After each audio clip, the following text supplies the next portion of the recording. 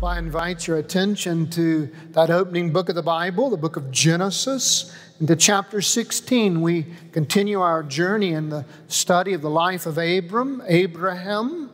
And as we noted in our intro to this morning's sermon uh, service, uh, this is a mighty, messy chapter.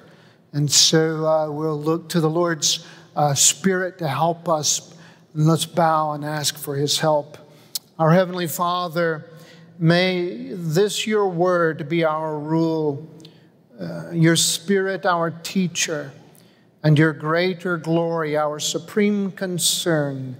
In the name of our Lord Jesus Christ, amen. Amen. Genesis chapter 16, oh, we'll, read, we'll read the chapter in its entirety. Now, Sarai, Abram's wife, had borne him no children. She had a female Egyptian servant whose name was Hagar. And Sarah said to Abram, Behold now, the Lord has prevented me from bearing children. Go into my servant. It may be that I shall obtain children by her. And Abram listened to the voice of Sarai. So after Abram had lived 10 years in the land of Canaan, Sarai, Abram's wife, took Hagar the Egyptian, her servant, and gave her to Abram, her husband, as a wife. And he went in to Hagar, and she conceived. And when she saw that she had conceived, she looked with contempt on her mistress. And Sarai said to Abram, Uh, may the wrong done to me be on you. I gave my servant to your embrace, and when she saw that she had conceived, she looked on me with contempt. May the Lord judge between you and me. But Abram said to Sarai, Behold, your servant is in your power. Do to her as you please. Then Sarai dealt harshly with her, and she fled from her. The angel of the Lord found her by a spring of water in the wilderness, the spring on the way to Shur. And he said, Hagar, servant of Sarai, where have you come from and where are you going? She said, I am fleeing from my mistress Sarai. And The angel of the Lord said to her, Return to your mistress and submit to her. The angel of the Lord also said to her, I will surely multiply your offspring so that they cannot be numbered for multitude.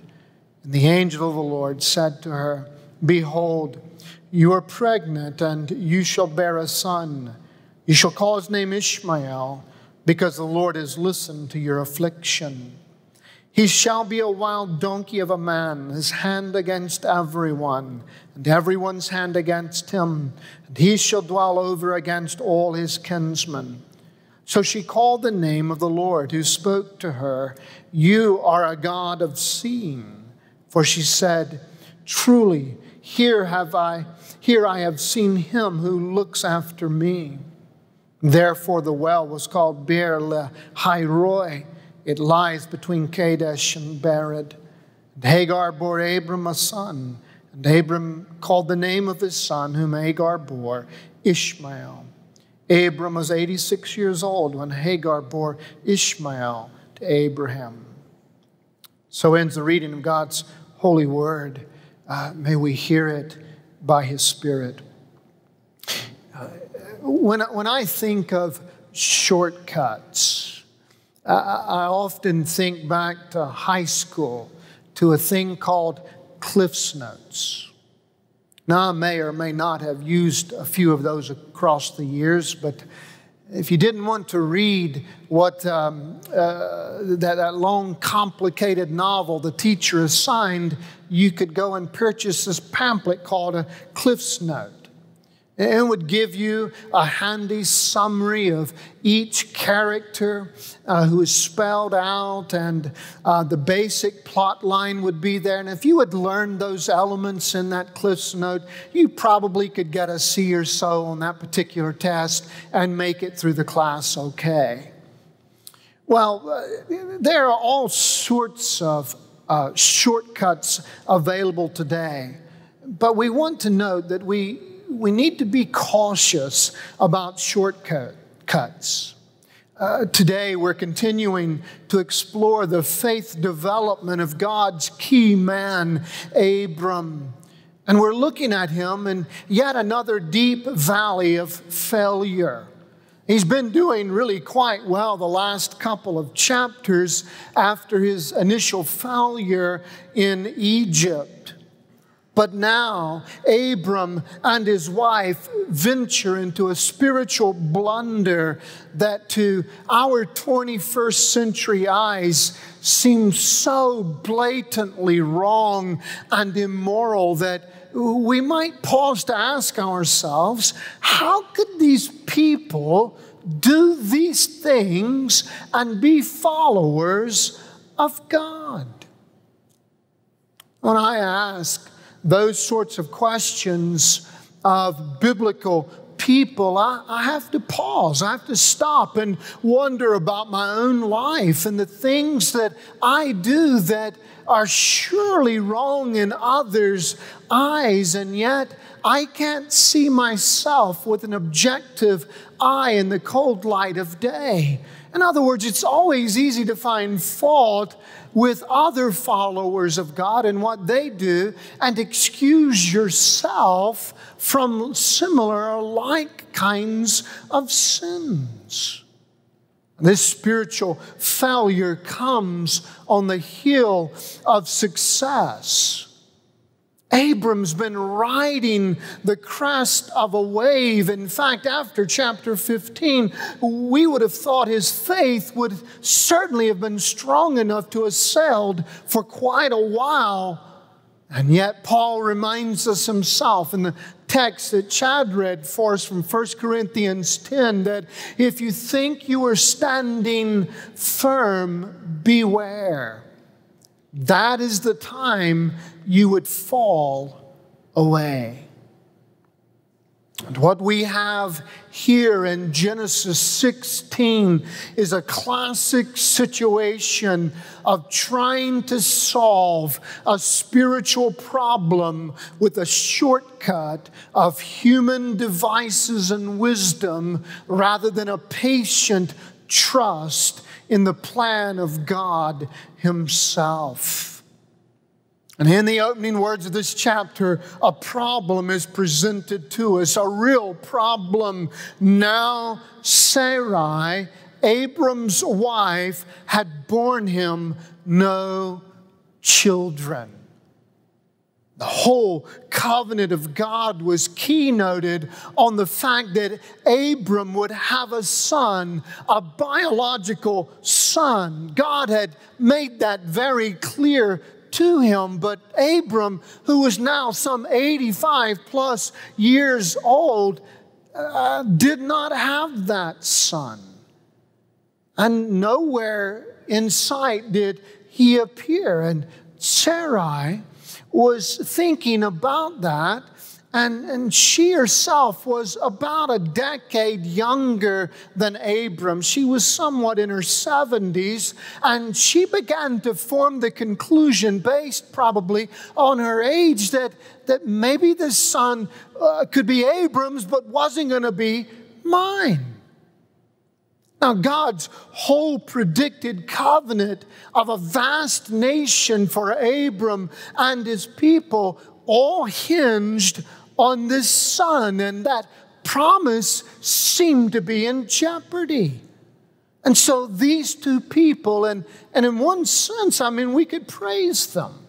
I mean, they were godly and they wanted to see God's covenant fulfilled. And surely they just thought maybe God needs our help. Eh, it doesn't seem to be happening by natural means here. Maybe we need to come up with something that involves what we might call thinking outside the box. But what we learn here is a very simple but powerful lesson that God's ends never justify just any old means of attaining them. God's ends never justify any old means of attaining them.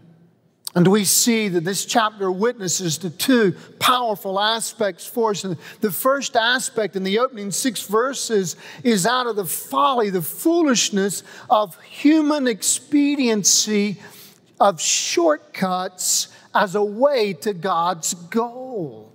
The foolishness of our scheming as a way to reaching God's goals. And so we're introduced to this mess of a marriage triangle with Abram, Sarai, and Hagar. And I must remind you, as we began to think about this, where Hagar comes from in this picture.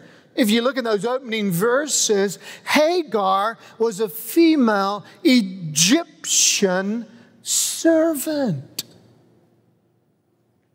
That term Egyptian is a strong clue that trouble is on the horizon. She's from Egypt. And when was the last time they were in Egypt? Well, you recall it was back when Abraham had such a terrible failure in his life. And so now this Egyptian comes to play yet another key role in a failure in Abram's life. And yet it, it seems to me as even as Americans in this 21st century, if when we eh, look back on this, even with all the sexual immorality of our society today, we're actually shocked at what happens here. I mean, if, if you knew anybody who actually did this, you wouldn't know how to talk about it. I mean, if someone brought in a, a servant or a laborer and said, Look, we haven't been able to have a child. Uh, um, can you help us out here by, by sleeping with my husband? Uh, you would say, Gross, terrible, stunning, immoral. Uh, but, the, but the amazing thing is that this was something that was actually socially acceptable and even entirely legal in the ancient Near Eastern world. Uh, we've learned some things about the legal documents and the way legal proceedings went on in that day when some documents from King Hammurabi uh, was uncovered some years back. Uh, they discovered a whole series of laws and principles and things clearly articulated and spelled out, whereas the ten, the, in the Bible we only have Ten Commandments and King Hammurabi, well, there's over 300 something laws all spelled out. And some of those laws that were passed down from different cultures to different cultures included that of being able to bring a concubine in and have that as an additional wife to provide a son because sons were so important for the uh, inheritance of the family. And so this was an entirely legal and socially acceptable practice. So we have this plot that begins as a piece of folly proposed by Sarai who has been the silent partner. All we know about her is she's been the silent partner thus far in Abram's escapades, and she is tremendously beautiful. And you know, as you, as you think about this, you, you, you do have to give Sarai some, some benefit of doubt, some credit here. I mean, if selfishness was her motive, she would never have done this thing. You have to at least sense that she wanted to honor her husband. She wanted to honor the promise of God. And so, in order to put away her, her own pride and her own sense of being the exclusive wife, and, and to say, I'll step aside and I'll recommend this idea if it will make happen the things that God said were going to happen. So, in, in a backhanded kind of sense, I mean, it, it does credit her in some way. Uh, perhaps she was thinking, you know, God said Abram must have a son. And she talked with him about that, obviously. And, and God had said Abram was to have a son. And perhaps she began to rationalize as the years went by. Well, God said Abram was to have a son, but, but nowhere did he say, I was going to have that son. And so, and the text hadn't at this point. So she worked through that and she developed this plot. It sounds very plausible for her to do that. And as a kind of an aside, just very briefly, uh, this is one of those sticking points, by the way, that people often raise up the immorality of the Old Testament patriarchs. I don't know if you've ever been confronted with this question when, as friends, you're talking with them about the gospel and all, they say, well, how can you follow this God who, who condones? I mean, all those patriarchs had, had, had multiple wives, they practiced polyg- polygamy. In fact, uh, the Mormon group uh, across the years has argued for that to be practiced because of the way we would see it throughout the Old Testament. And they would say, listen, all the patriarchs practiced that. It must be God's plan, right? Wrong. No. There are a lot of things done in the Bible by godly people that does not have God's stamp of approval on them. And polygamy, multiple wives, is one. Yes, these people lived in a day and time when society did sanction this. And yet, even then, the Lord had already given His firm pattern on what Scripture has to say about marriage and intimate behavior between a man and a woman and what it was to be uh, like. And he said that way back in Genesis chapter 2, right at the very beginning, right after he created man and woman. He said that man and woman are to give themselves together in an exclusive and monogamous relationship only between them, and they were to exclude anyone else in that arrangement. He set that out plainly and clearly in the Garden of Eden. It's not a mere accident. We have it there before the fall. It's right at the very beginning, right where God shows us and tells us the ideal. And when people stepped apart that from that throughout the Old Testament, I, I know probably what some of us think is that, well, surely when, when some of those patriarchs did that, God would have thundered a little bit at them and rattled their cages a little bit and, and get their attention and say, You naughty guys, you've disobeyed me in the area of taking another wife, and so I'm going to get you for that. But, but, but the Old Testament never shows us that, and the Lord never says that. However, every single example you see in Scripture where anyone did step apart from God's model of one man and one woman, the negative consequences and the disaster and the chaos that affected the families for generations upon generations, for multiple generations, were a clear sign that God's hand of favor had been pulled from them in these particular areas. You can always judge what is God's will and what isn't by whether the, it produces sweet fruit or sour fruit that would set the family's teeth on edge. And in the Old Testament, polygamy, multiple marriages, always, always, always produced negative results. And that's how we gather and gain the sense that, yes, God's hand uh, was against that. Well, Sarah, in some ways, uh, is surely a woman we would want to pity in some respects. Yes, yes.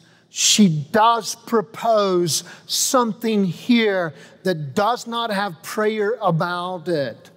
It doesn't have the leading of God about it. And it was wrong. She was wrong. And yet, when we think of her and her plight, and we think in the church today, even, I'm not so sure that we, we don't carefully think about the bitter thought life and self worth of a woman who, who's unable to bear children. That's so hurtful for so many. And, and I, I think we may want to pause and think more carefully about people who are in that situation.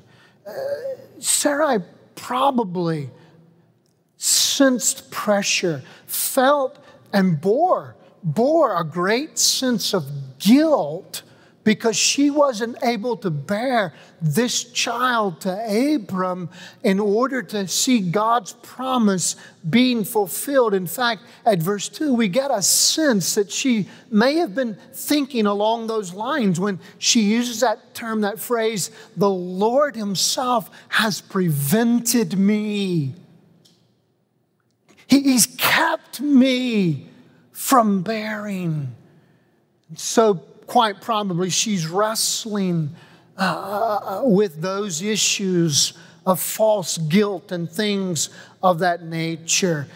And so, probably, she, she came to that place. She said, Maybe I just need to step aside and let God do this another way. But then the problem deepens as Uh, at, at this folly as Abram himself accepts her proposal and cooperates with her. Now, folks, he, he, may seem like a passive partner here, but he is the one at blame. In the same way the entire Bible looks to the Garden of Eden and tells us it was Adam who sinned. Yes, yes, it was the woman who proposed something to him. But Scripture looks at the man who is the moral and spiritual leader of the relationship and puts the blame on him for doing this. Husbands, listen carefully. If you think we can stand before the Lord one day or will stand before the Lord one day and say, I couldn't help, it was all my wife's ideas, and it might have been. Well, friend, that's not going to fly. As hard as it is, as painful as it is, as difficult as it can be, and wives, you can make it mighty hard on your husbands. But men, listen. That's what spiritual leadership is about.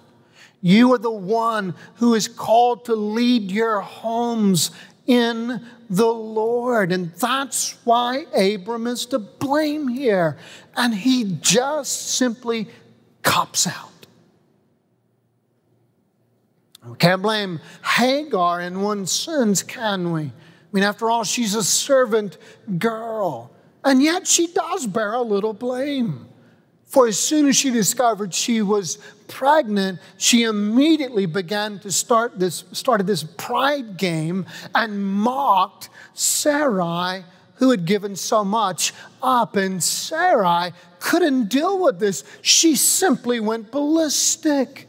And I'm reminded here uh, of a place in the book of Proverbs in chapter 30 at verse 21 and through 23 that says there are three things that makes the earth tremble. And I'm not going to go through two of them, but the third one was a maidservant that displaces her mistress.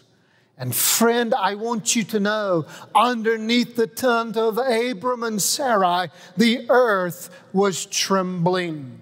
But not only does this passage witness the foolishness of human scheming and plotting, but we see the wonderful mercy of God, which is certainly more. Aren't you thankful?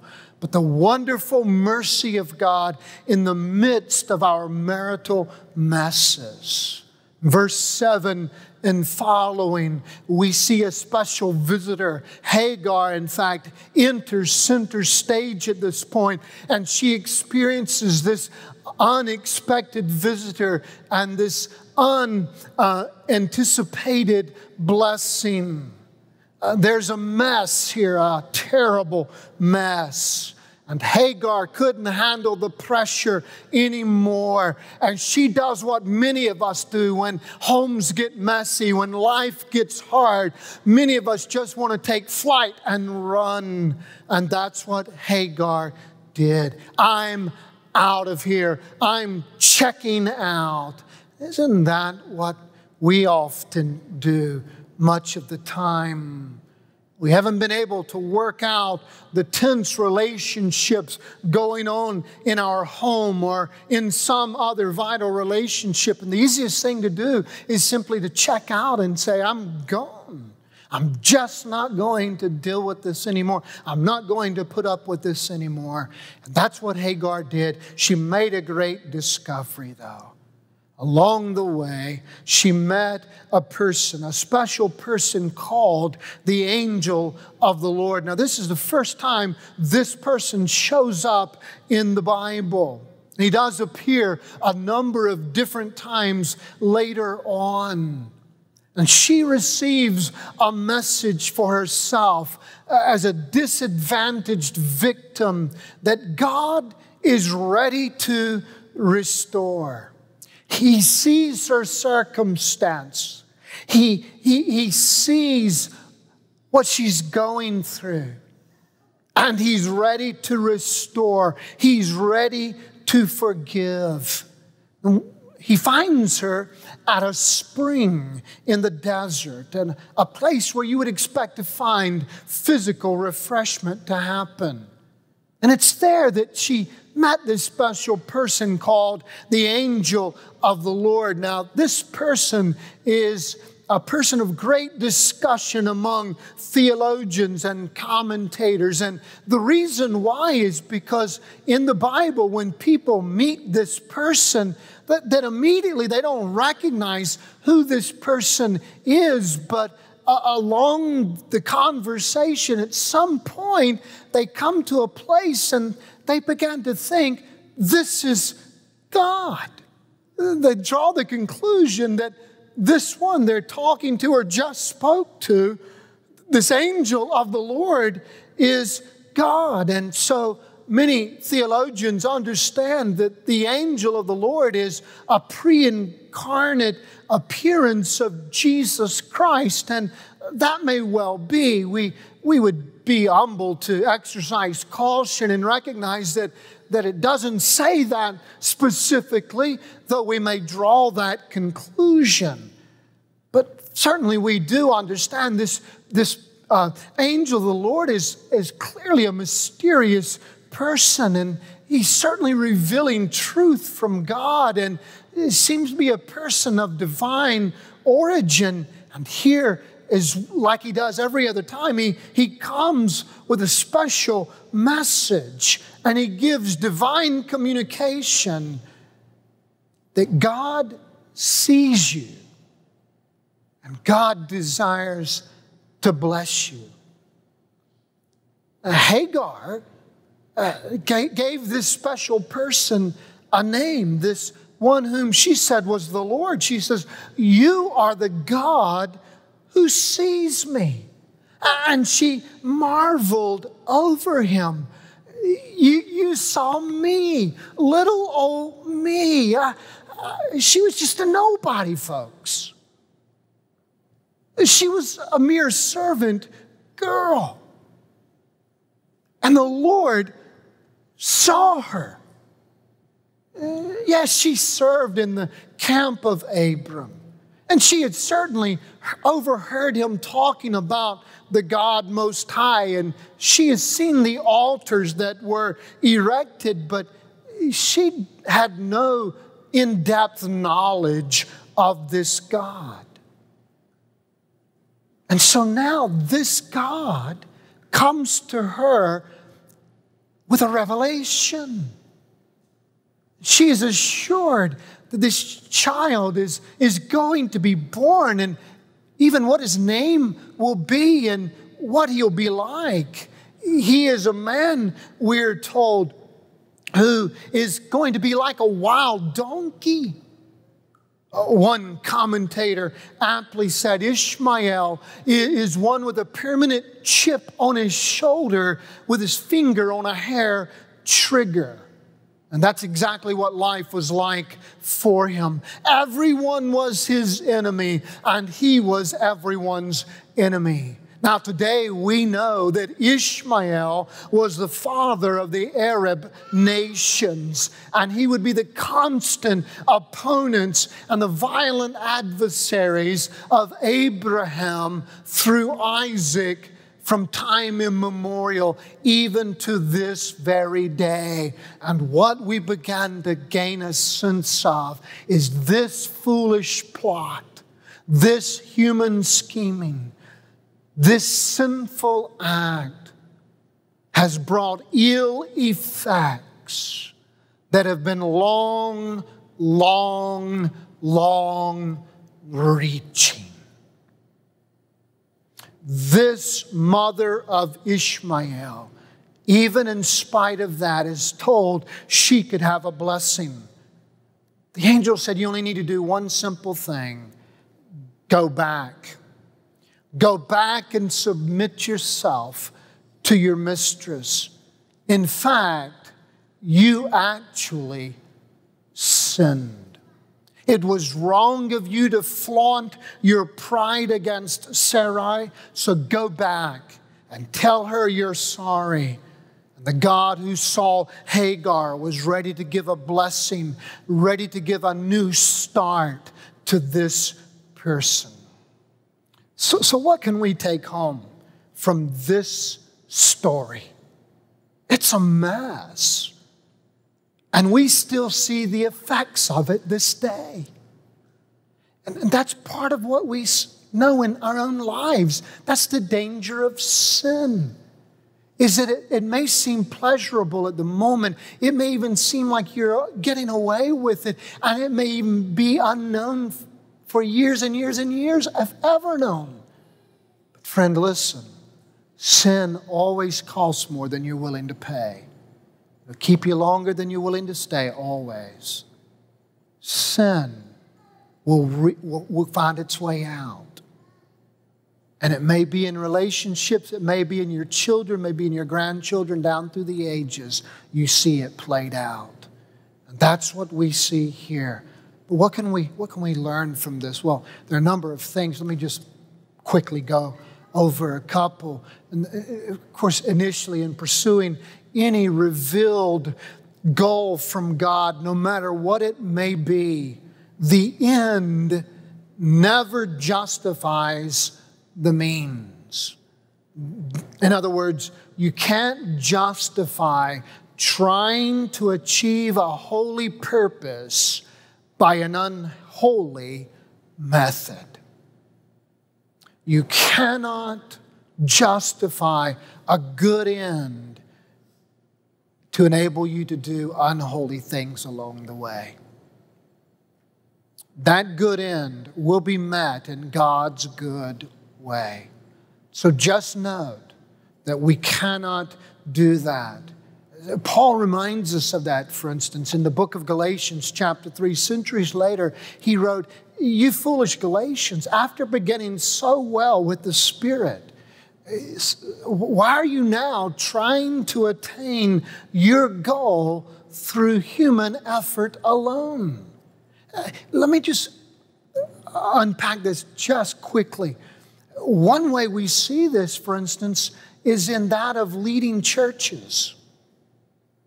that of planting churches. And, and, we have a passion to see that happen. We're, we're a church plant. Now, now, part of the risk and part of the danger of being a church planter is, you know, you got to get a certain number of people and you got to get a certain budget in order to make it viable so you can live and so you can have a job. And so, and how do you do that? Well, marketing tells you how to do that.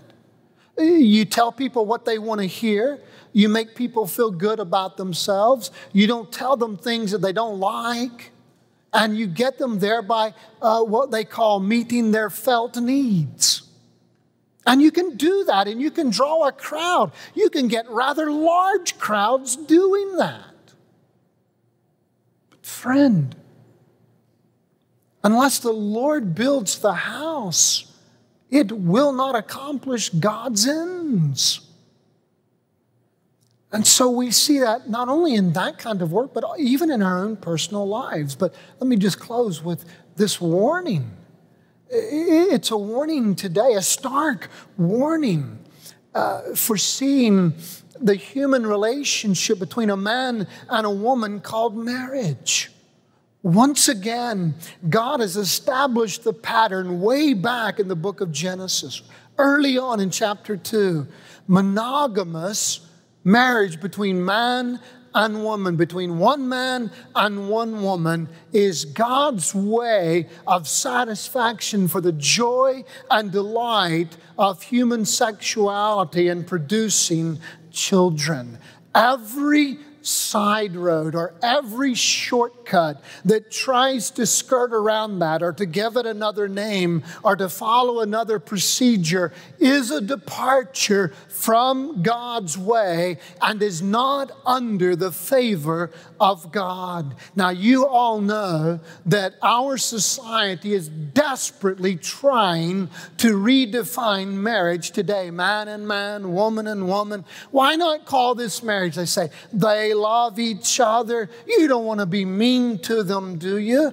uh, we accept them just as they are. And, and so we think this is the way it should be. And that's what our society is telling us. And some 68% plus in our society today tells us these things are acceptable. I'm fine with it, they say.